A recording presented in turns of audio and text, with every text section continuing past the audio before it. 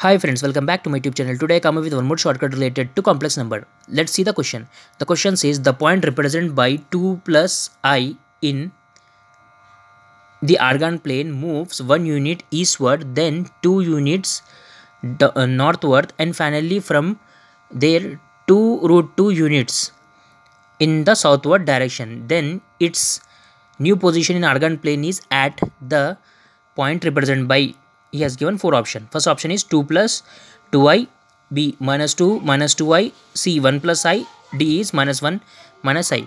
This question is coming uh, uh, in JEE mains 2016 now in order to solve this problem what we are doing? We are taking this argand triangle okay? We are drawing one diagram okay?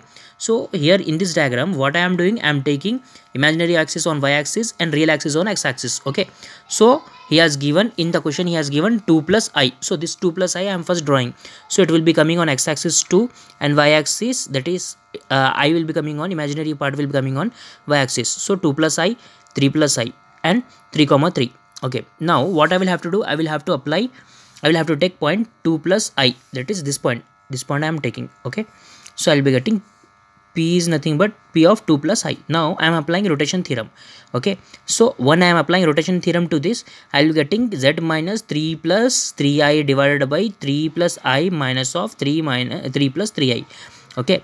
So i'll be getting answer uh, the, the rotation theorem value is 2 root 2 by 2 okay? That is that we are when we are representing in in um, complex number so i'll be getting e power i into uh, e power i uh, e power i into minus pi by 4 okay? This i'm when i'm expanding i'm getting z minus 3 minus 3i by minus 2i that is nothing but 1 minus i okay? So equating both of these i'm solving i'm getting z value as 1 plus i. 1 plus i will be the answer to this question okay? Hope you understand this video. If you understand this video and if you want me to make some more video of this kind then don't forget to like subscribe and share my youtube channel with your family friend and colleague. Thank you